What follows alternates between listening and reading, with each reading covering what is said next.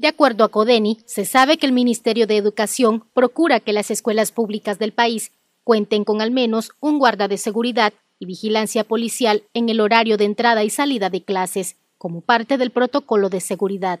Pero este mecanismo urge de reajustes por el actual contexto de inseguridad en el país, sobre todo en las zonas rurales. Tenemos entendido que eh, hay orientaciones de las autoridades del Ministerio de Educación de que los profesores y, los maestros y maestras tienen que estar en, durante la entrada y durante la salida.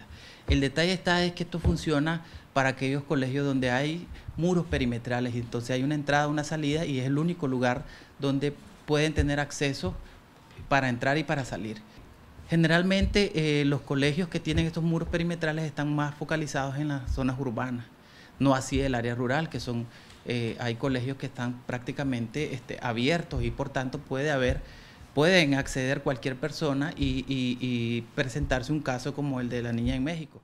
Otra de las recomendaciones en las que coincide Codeni y la psicóloga María Silva es que las escuelas deben actualizar periódicamente junto con los padres de familia información clave que ayudará a mejorar la seguridad del estudiante dentro del centro educativo y una vez que sale de la escuela. No le podemos dejar toda la responsabilidad al Ministerio de Educación. Aquí hay una corresponsabilidad. Primero están eh, los, padres y madres o referentes familiares y luego cómo de esto transfieren la información a las autoridades. ¿Por qué? Porque el, niño una vez que llega al colegio es responsabilidad total de las autoridades del Ministerio de Educación de cuidar por su seguridad, por su, su por su integridad física y, emocional. Y por tanto también tiene que estar ahí como eh, haber una comunicación constante, fluida sobre los, tipos de personas que tienen que llegar a retirar o a dejar o a traer al niño.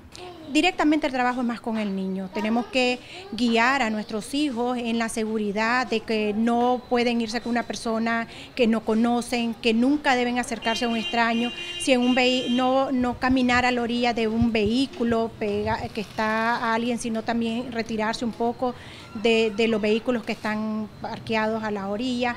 Tratar eh, de de también tomar medidas como ponerle al niño dentro de su mochila sus datos personales o, en el zapato o algo, porque si es muy pequeño él no va a poder decir dirección si de pronto pudo escaparse.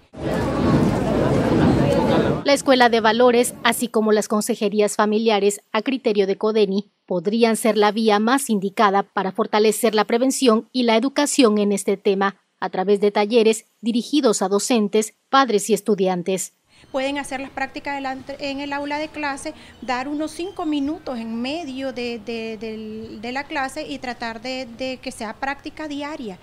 Eh, los colegios pueden hacer las prácticas en quién puede venirte a dejar al colegio, ya saben que es su papá, y si no, ¿quién viene al colegio a dejarlo? Los niños tienen que hablar y decir, ah, es mi tía, ¿y cómo se llama tu tía?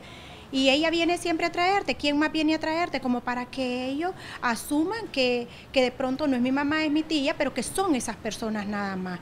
Eh, también puede practicar dentro del colegio eh, el qué hacer el niño, cómo vas a defenderte, qué harías en determinada situación. Y creo que ahí hay un elemento esencial que las autoridades tienen que potencializar o reforzar, que es esa relación en términos de, de brindarles medidas de seguridad y de protección a los niños y niñas en el colegio y, parte por esas charlas, pero también las charlas no solamente para los chavalos y chavalas, sino las charlas también para los padres y madres. Y creo que la, la escuela este, de valores que tienen, todo lo que tiene que ver con las consejerías familiares, las consejerías escolares, tienen un rol fundamental en estos momentos de, inseguridad que se vive en el país, de, de crear esos mecanismos y de, y de potencializar en la familia lo que es el autocuido. Una gran debilidad, según los expertos, es que muchos padres y madres de familia cometen el grave error de no acompañar a sus hijos para dejarlos y traerlos de la escuela, aun cuando tienen el tiempo para hacerlo. Cualquiera Chavarría, Voz TV.